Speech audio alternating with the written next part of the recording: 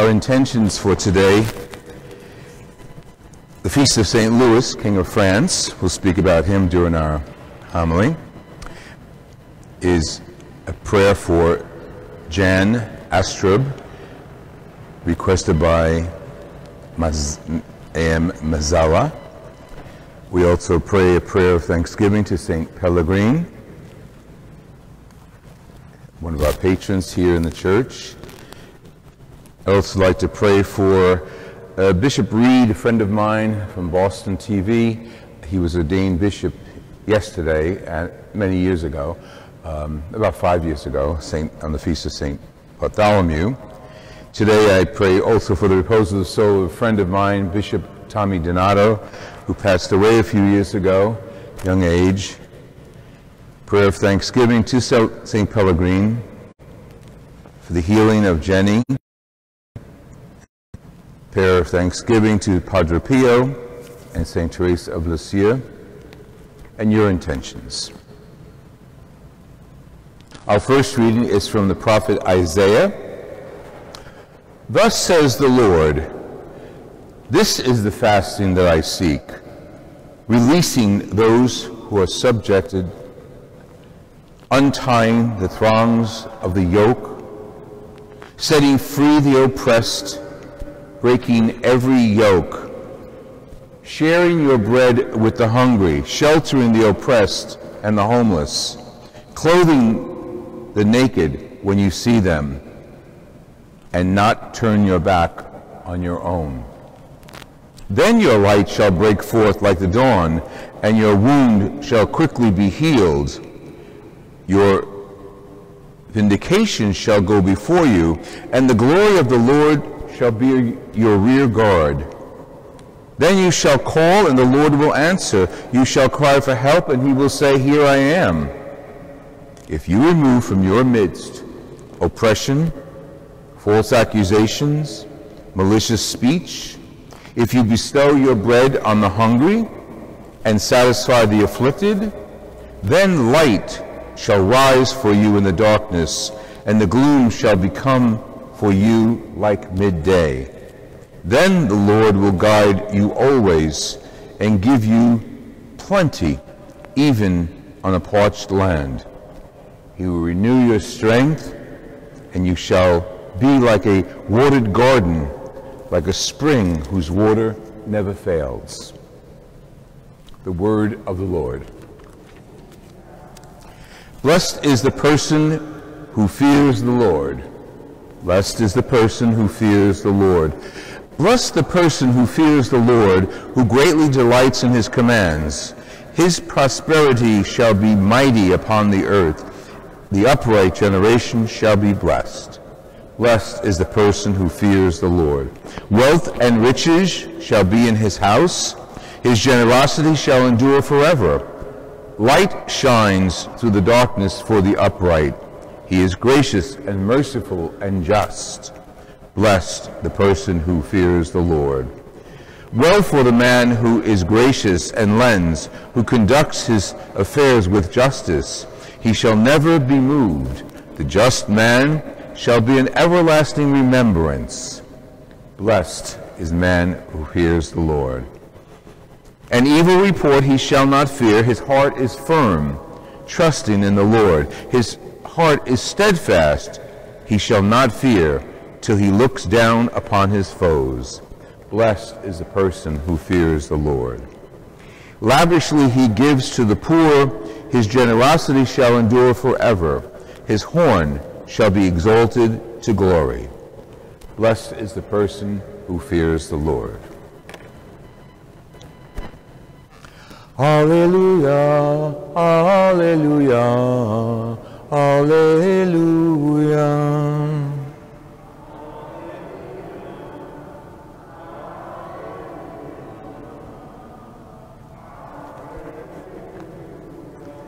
I give you a new commandment. Love one another as I have loved you. Alleluia. Alleluia. Alleluia.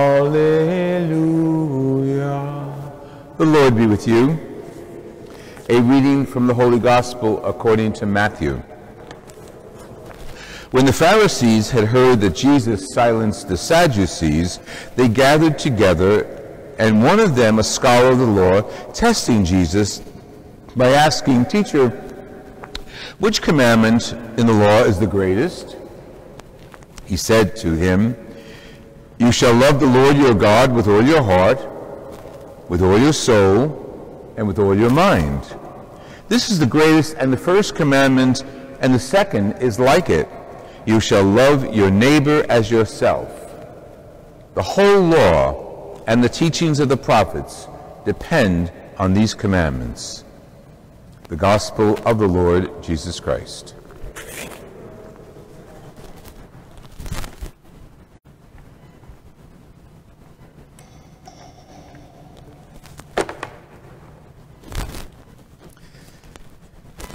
When I was a child, I was so grateful that my name was Louis because I was named after my grandfather, Luciano.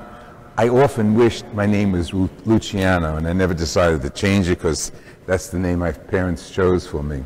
Luciano was my grandfather, my mother's father, and going back to our Sicilian roots, I was very close to him.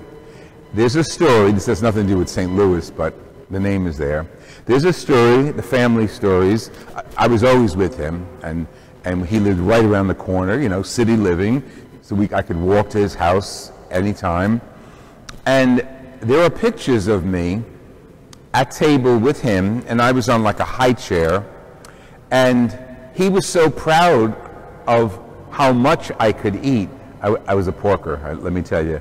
Um, there's a picture of me with my belly, I'm a little baby now, on the top of the high chair table, proudest peacock next to my grandfather, holding up the fork of pasta, spaghetti. Um, that's Luciano. Very, very important in my life, and I pray for him today, as the other intentions we've mentioned before. St. Louis, King of France, he did something different. He, he really took seriously, in those days, they called it divine right. When a king was anointed at his coronation, the belief, the faith was he was anointed by God to do what he's doing. Good, bad, or indifferent kind of guy, he was still anointed by God. And that gave them a kind of process of grandiosity or humility. And in the case of St. Louis, King of France, great humility. Great father, 11 kids. Blanche was his mother, and she also was a very important influence on his life.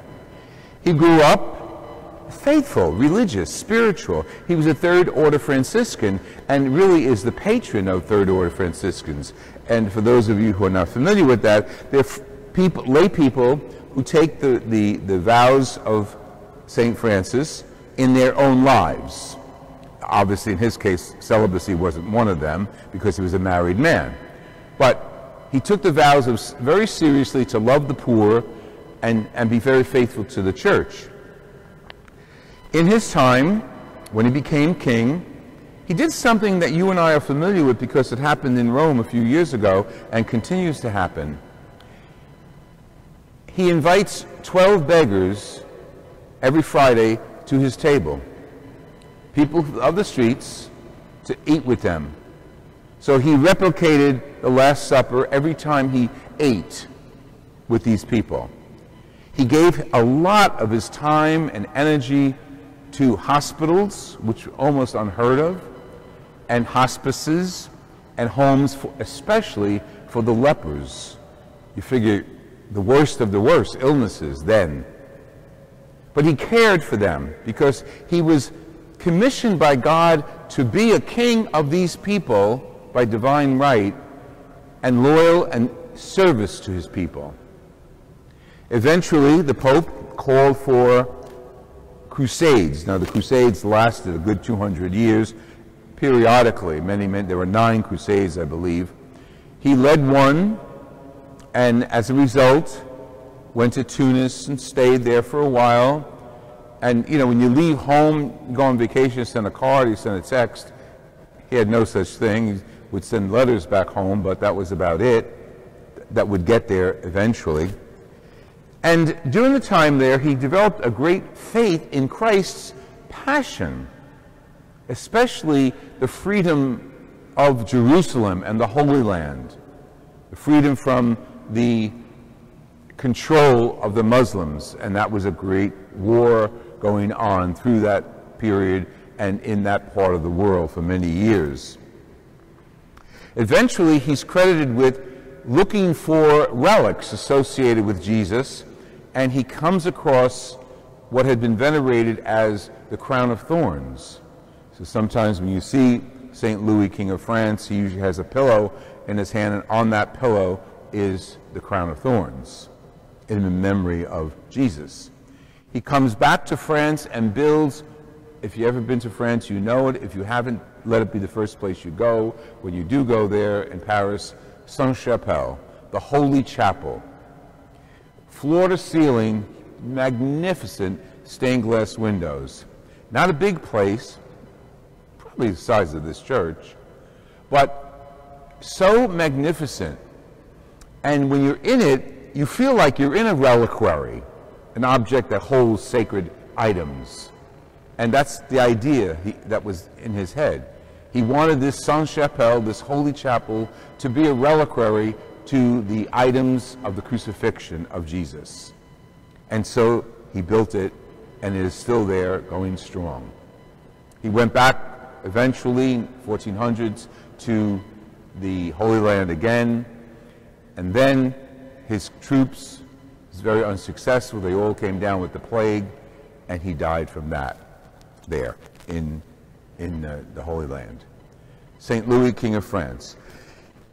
Someone who was a just ruler in our country, our state, and our city, looking to just rulers is so important. Someone who cared for the poor and cared for people right across his society. He set up a system in his government offices where witnesses had to be called. Now, you, it's funny for us to think, you know, that's, that was new. It had to be new somewhere, right? Because in the Middle Ages, if you and I had a, a, a battle with each other, a, a, disagreement, we just went to war or we dueled. Well, he ended that in his country and said if you have an issue with another person, come to court, bring your witnesses, make your case. Justice was important. Because don't forget, he was representing God to his people. Our leaders today still, whether they agree with it or not, represent God, governing their people with justice and peace and equality. He was a great man of justice, a great man of the family. And I don't know his miracles. Just having me named after him is one of the miracles. But the miracles that he gives us are our Christian lives and, and, and the lives that we live as Christians. Looking to someone like that who is high and noble, but who is humble and walked the earth with us. And who does that reflect? Jesus Christ himself. So no matter what our role is, family, government, politics, church, we are still called as Christians to emulate Jesus Christ, to give those who are on the outskirts of society respect and love, to feed them, clothe them, and we as a parish do it well with our charities, but there's always room for more, for growth. There's always room for a little more concern. When we vote, the same thing. Take the political system very seriously. And we are called and challenged, I think, to vote for people who represent, I want to put quotes around it, God. Now, no, no political person represents God authentically, but our leaders should re reflect our faith. And we are Americans, so we have the right to declare our faith in the polling booth. For people who stand up for justice, who, who, who improve society, who don't forget the marginalized, who say all people are equal, who represent the white, the brown, the black, and every other member of our such a diverse community of the United States. So leadership next to godliness is very important for the Christian. Pray for your leaders. Vote for those that in conscience you believe are doing God's will. And look to St. Louis, King of France, as as a representative of our divine right to do what is just.